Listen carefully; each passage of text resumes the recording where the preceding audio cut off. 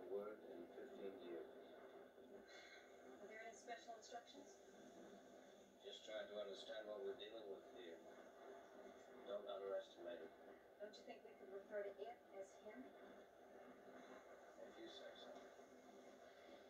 The is overwhelming, Doctor.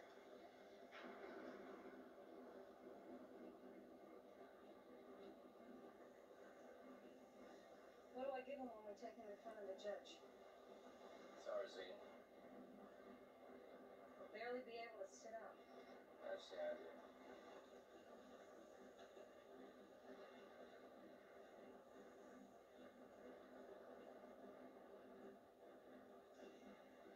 You're about it, aren't you?